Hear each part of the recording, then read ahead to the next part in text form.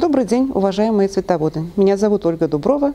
Я приветствую вас на канале Про цветок. Сегодня я вам расскажу об особенностях ухода за канной садовой.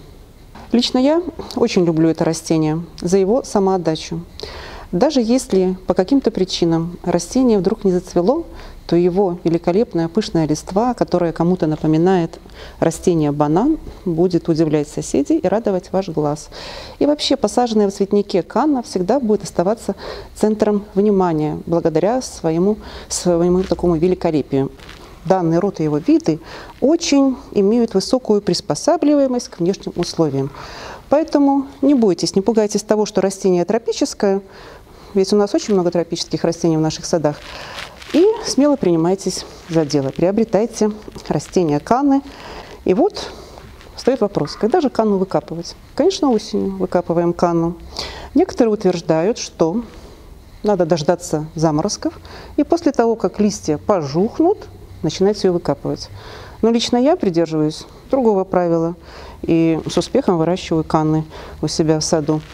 Я считаю, что канну выкапывать лучше в сухую солнечную погоду, ну, если даже и без солнца, то чтобы погода была сухая, не заливные дожди. Потому что мы ведь не знаем, какой будет заморозок. Может, это будет минус один, ну, тогда ничего страшного, пожухнут только верхние листья. А если это будет минус семь, тогда вот эти мясистые стебли подмерзают, и в процессе нашего зачастую неконтролируемого хранения они будут подгнивать, и, естественно, будут поражаться и остальные части нашего корневища. Что из себя представляет корневище кана? Вот мы его выкопали. Обрезали примерно на высоте 8 сантиметров. Если так вот страшно по-ботанически произнести, то это корневищный поликарпик с симподиальным нарастанием. Не бойтесь такого слова страшного поликарпик. Это говорит лишь о том, что канна на протяжении всего периода жизни растет, цветет. То, что это симподиальное нарастание, вот мы видим. Здесь был стебель, потом он горизонтально отошел в сторону. Началась новая точка роста и так далее, и так далее в горизонтальном расположении. Выкопали. Не следует отряхивать землю. Почему? Потому что порою канна у любителей недостаточно долго находится в земле. И корневища не вызревают, не успевают полноценно заложиться в цветочные почки следующего года. Поэтому землю как можно больше, ну, чтобы нам не совсем было тяжело ее таскать по нашему участку, как можно больше оставляем на корневище. Мы ее не отряхиваем. Здесь у меня, видите, какие мощные, красивые корневища с почками такими массивными. Некоторые называют клубни. Ну, как вы называете, это не влияет, конечно, на хранение, но я считаю, что ботанически надо быть все-таки грамотными. И это у нас клубневидные корневища. А, дальше что мы делаем? Дальше мы берем, э, допустим, если у нас кан много, можно взять ящик, либо э, какой-нибудь другой контейнер, то, что есть у вас под рукой. Для того, чтобы предотвратить лишнее высыпание земли, мы застилаем ящик землей и укладываем туда канны на хранение так вот располагаем. Смотрим, чтобы почки друг друга не давили, не нарушались, потому что замещающие почки вот у этого побега, это все-таки побег уже не будет. Поэтому следим за качеством почек. Уложили. А, рассмотрим другой вариант. Вот, допустим, у меня кана росла весь сезон в горшочке, потому что я приобрела новый сорт и не хотела отпускать его на волю судьбы просто в огороде. И поэтому оставила его прикопанным в горшочке. Сейчас его достала. Мы таким же образом обрезаем сантиметров 6-8 оставляем стебелечек. Удаляем различные остатки растительные не поливаем, как вот и есть, как мы принесли с огорода, так и остается. И так его можно хранить и дальше. А, другой вариант я хочу показать вам, что в таком горшке растение оставалось в течение двух лет. И как вы видите, оно уже начало, благодаря своему симподиальному нарастанию, оно начало распирать горшок. Поэтому в этом году мы можем оставить на хранение здесь его. Но весной придется уже горшок, скорее всего, разрезать, чтобы извлечь э, без травмирования почек, и пересадить, возможно, в большой горшок, либо в грунт. Это как вы решите. Покажу еще один вариант, э, почему вот это у меня было в горшке, и почему э, следующий вариант тоже будет у меня в большой емкости. Это вот такая история. Здесь растение уже подмерзло. Оно стояло на улице в цветнике. Поэтому мы точно так же обрезаем, удаляем все отмершие части, обмороженные. Вот видите, здесь эта канна садовая. Она пыталась даже в процессе цветения заложить семена. Дальше обрезаем Почему находилась у меня в этом контейнере? Потому что кану можно высаживать не только в грунте, но и высаживать ее в контейнере. Кана очень хорошо переносит контейнерное выращивание, и можно двигать ее по вашему садовому участку, либо по другим каким-то э, местам озеленения.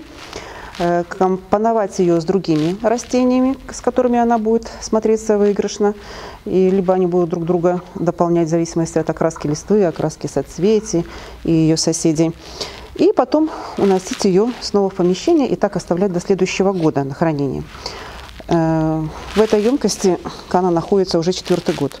Конечно, в следующем году она уже просится, чтобы ее разделили, рассадили, ну и снова выращивали по нашему усмотрению, либо в грунте, либо в контейнере каком-либо. Это то, что касается обрезали, поставили. Какие должны быть условия хранения?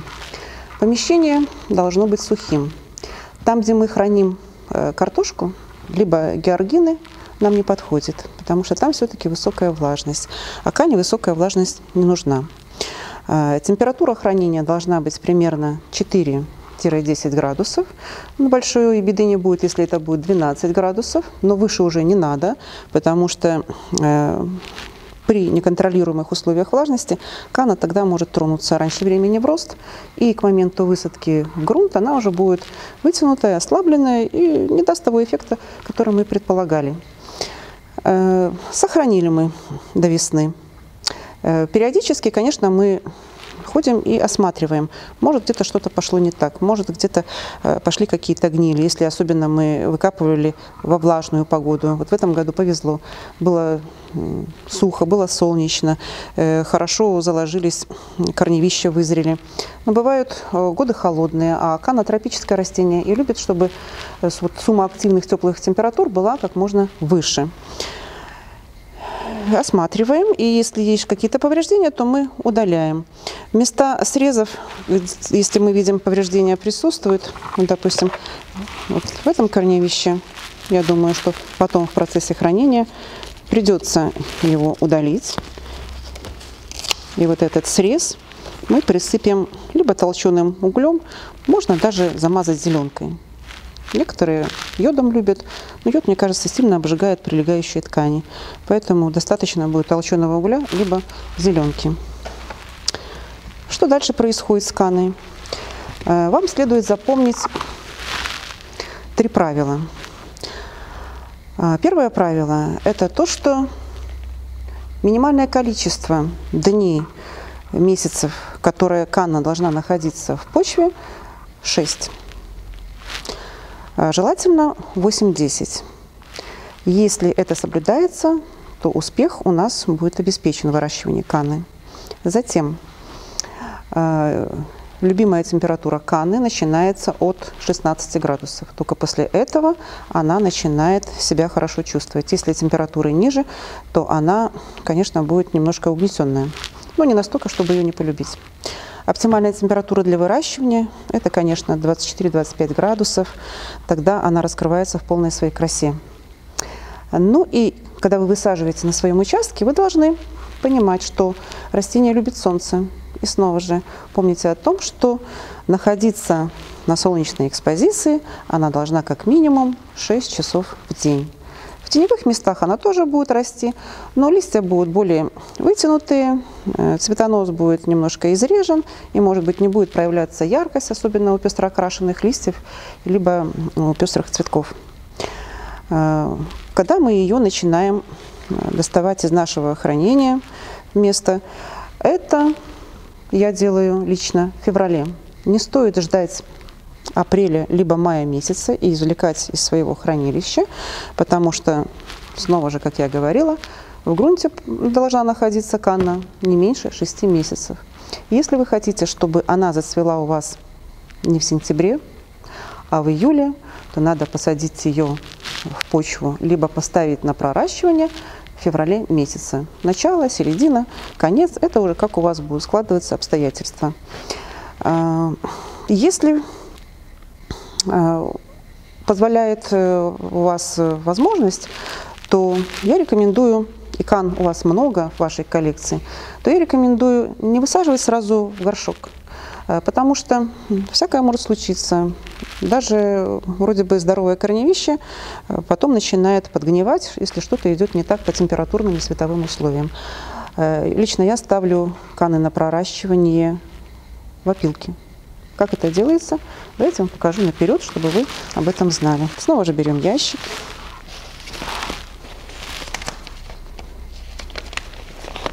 Берем газетку, чтобы опилки не просыпались. И наполняем опилками.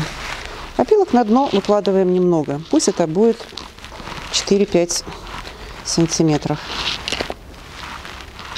Ей здесь не расти, а только прорастать. Затем вот у меня подготовлен, чтобы вам было понятно, такой корешок. Будем считать, что наступил февраль месяц. Все отсохшие части, пораженные части в процессе хранения мы обрезаем. Может, ситуация будет хуже, а может лучше. Ну, допустим, такой пример. И укладываем. Укладываем целый наш ящичек. Сверху поставленные каны мы присыпаем опилками. Снова это будет 4-6 сантиметров. Присыпали. И для легкой дезинфекции проливаем, чтобы опилки были во влажном состоянии, проливаем раствором нашего любимого марганцово-кислого калия. И оставляем. Сверху снова же можно прикрыть газеткой, чтобы не происходило излишнее испарение в зависимости от тех условий, где мы этим занимаемся. При таком проращивании нам сразу видно, кто пустил корешки, кто не пустил корешки. И, допустим, для меня очень важно не тратить силы на лишнюю землю, на лишние горшки, потом их поливать, удобрять, рыхлить. И поэтому сразу видно, кто пророс. Укоренение прорастания корешков происходит примерно через 8-10 ну, иногда 14 дней. Но зато вот мы потом достанем, и здесь уже будут видны отросшие корешки, сантиметра 3-4, значит, их уже можно пересаживать в горшки. Куда бы мы ни высаживали, в горшки, и либо в открытый грунт в дальнейшем, э, мы должны помнить, что не должны мы заглублять канну, как, например, мы сажаем картошку, бросаем в лунку, либо как георгины закапываем чуть ли не на штык лопаты. Э, кану высаживаем на высоту от уровня почвы 6-8 сантиметров. Главное, чтобы были прикрыты наши почки. Вот видите, как она росла. Ее корневища располагались горизонтально в почве. И примерно так вот мы вот на такую глубину и посадим их весной. Э, либо в горшок, либо в грунт. Э, что надо еще помнить про кану? То, что она любит очень жирненькую такую почву, удобренную. И поэтому в лунку желательно насыпать либо э, перепревшего компоста созревшего, либо перепревшего навоза. Если мы добавляем навоз перепревший, то тогда уже можно э, минеральное удобрение не добавлять. Если это перепревший компост, то можно добавить как правило, там, э, столовую ложку любого комплексного удобрения с полным набором НПК. Чем еще хороша канна? Тем, что она не поражается практически болезнями и вредителями. Я знаю, что э, люди, которые занимаются э, защитой растений, они не любят таких фраз, когда говорят «не поражается». Но если рядом нету источника какой-либо инфекции, э, источника клеща, либо белокрылки, то кана ваша будет здорова круглый сезон, столько, сколько она будет находиться в грунте. Э, единственное, что во влажных местах выращивания, либо в затененных местах, ее могут поражать такие вредители, как слизни. Но это случается, как правило, редко. Поэтому мне кажется, что канна хороша со всех сторон. И выращивать ее совершенно несложно, если соблюдать вот такие вот нехитрые правила. Благодарю за просмотр. Если вам понравилось наше видео, ставьте лайки, пишите комментарии, а также подписывайтесь на наш канал. Красная кнопка под видео. Ставьте колокольчик. Вы всегда будете в курсе наших новостей. Всего доброго.